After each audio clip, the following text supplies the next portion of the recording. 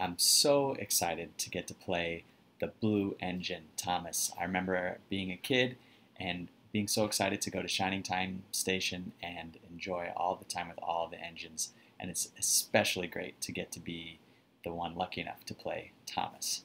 I'm absolutely thrilled to be a part of this. My niece and nephew, Ava and Ben Karsh, are huge fans of Thomas the Tank Engine, so I'm dedicating my performance to them today. Thomas Tank Engine has been a massive part of my life. When I was a child, I was obsessed with it, um, and pretty much I think I had every single one of them in toy form. Uh, so I'm very excited, and thank you so much uh, for asking me to be part of this. Now, when I was about your age, when I was a lot younger, my favourite was Thomas the Tank Engine, and it still is. So I would never miss up the opportunity to be part of Thomas the Tank Engine and be part of this amazing show. So I want you to sit back, relax, have fun, sing along, and enjoy. And we will see you after the show. Bye!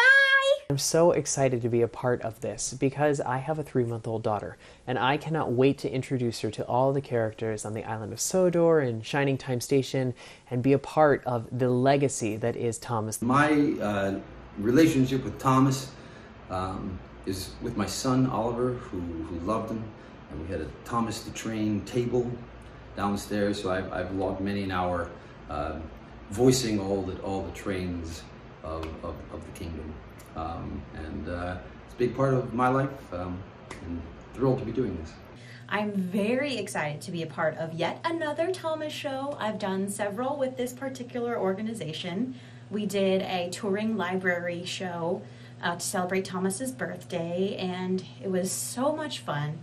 Um, my character wore overalls, so I just I had to bring that back. I think I've seen almost every episode of the original Shining Time Station. My brothers and I were huge fans growing up. We loved Mr. Conductor and all of the silly adventures Thomas and his friends got themselves in. So I am thrilled to be a part of this. I'm a longtime fan of Thomas the Tank Engine and Friends, and I'm pumped to be part of telling this story for all of you.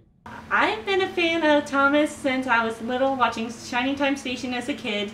And who would have thought five years ago I would be in a production all about Thomas the Tank Engine, uh, playing Riley in the original version we did, and I am so proud of that role. And I'm super excited to continue helping with these Thomas projects. I used to have so much Thomas the Tank Engine stuff as a kid. I remember having a full extended train set. It had all the characters from Thomas, and I remember used to playing with it all the time and reenacting all the Thomas stories that they would tell on Shining Time Station.